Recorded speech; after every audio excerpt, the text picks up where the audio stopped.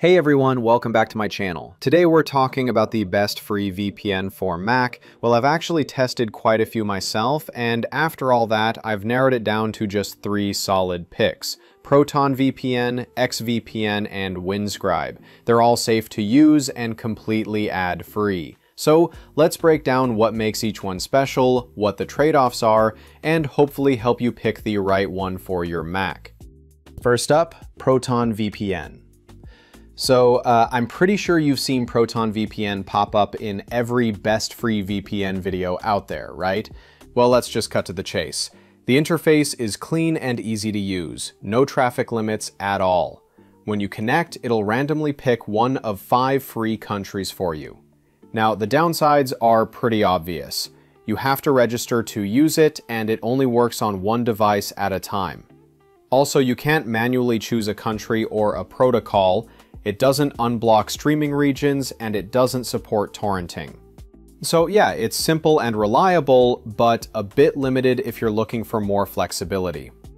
Next up, XVPN. I actually discovered this one through a Reddit giveaway, and it kinda surprised me. And well, even though it's, you know, not as famous as Proton VPN, it actually has a pretty big user base, and the free version kinda fixes a lot of the stuff Proton doesn't cover. All right, so first, just like Proton, XVPN has no data limits, and you can't manually pick servers on Mac either. But here's the thing, you don't even need to register, so naturally there's no device limit.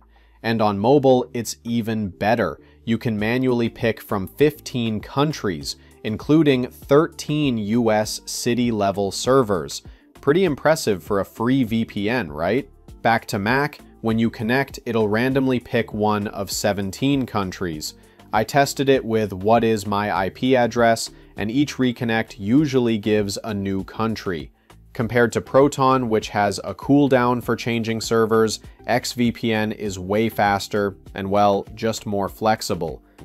So yeah, you can just keep reconnecting with XVPN and check what is my IP address. Honestly, chances are you'll land on the country you want.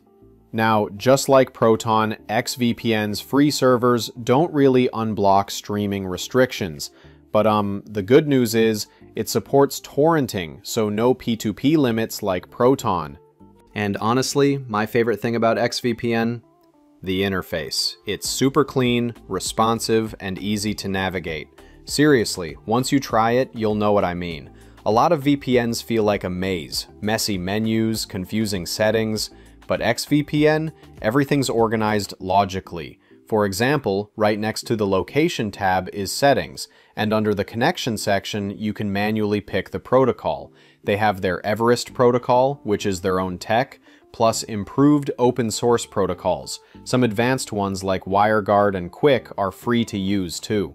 Scrolling down a bit, the kill switch is free too, and there are two other things you rarely see in free VPNs, but honestly, super useful for Mac users, storage cleanup and startup management.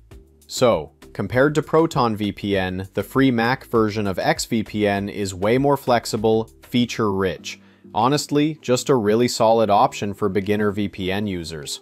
Alright, last but not least, Windscribe. If we're talking about features, this one's a beast. You can manually pick from 10 countries and its kill switch, split tunneling, and ad plus tracker blocker are all free. Sounds amazing, right? Well, there's a catch. If you don't register with an email, you only get 2 GB per month.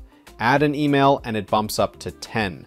Still, that's not much, so streaming or torrenting, probably not ideal on the free plan. So for light users, Windscribe's great. But if you care more about unlimited traffic, I'd still go with XVPN or Proton VPN. And let's talk safety, because free VPNs always get a lot of questions about that. So far, Proton, XVPN, and Windscribe haven't had any confirmed data breaches. Proton and Windscribe have gone through multiple independent audits, and XVPN's third-party audit is expected to be completed and published this year.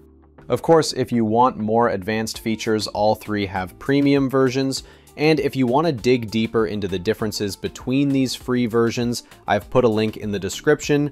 Don't forget to check it out. From a value perspective, XVPN and Proton are usually the better bang for your buck, while Windscribe is a bit pricier.